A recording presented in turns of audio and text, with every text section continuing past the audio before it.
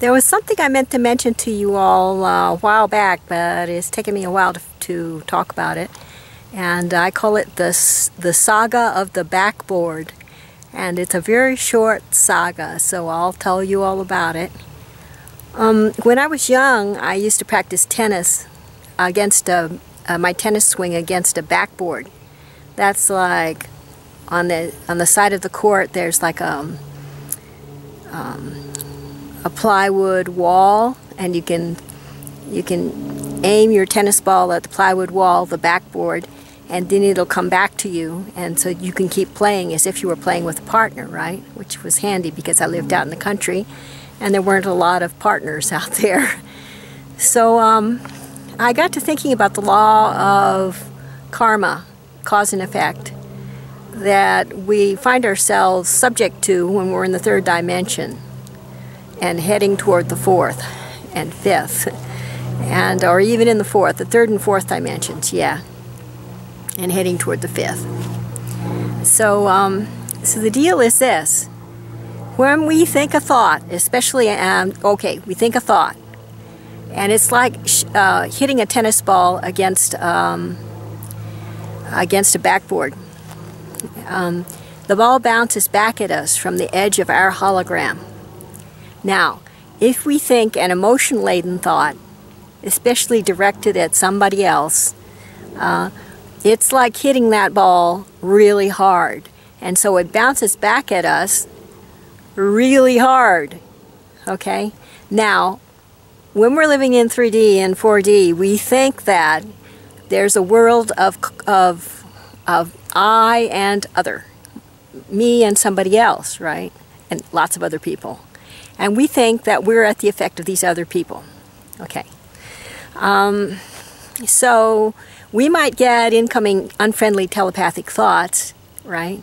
And we might think, or we might be triggered by some like emotional, mental um, stimulus to our own auric field from somebody else. And, and we think, gosh, that person is out to get us. Or we think, that person is doing something to us, right? and so we think something back at them, right?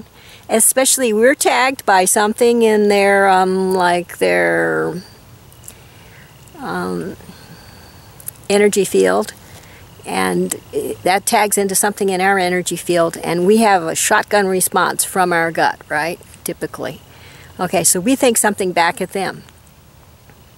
Well, so what really happens? Are they affected by our thought? Maybe. If it hits something, if it's if their own gut responds to something about the energy signature of what we send. But if their gut is clear, or relatively clear, what's happening to us, okay? It's like um, a chain of cause and effect is set up within our own hologram where we think something, we, we got a pinch from somebody, we think something back at them. It hits the edge of our hologram, bounces back. We think, my God, they're after us. and we think back something furious, and that bounces back even faster and harder and hits us, right? And it spins along like that until it reaches a breathtaking proportions.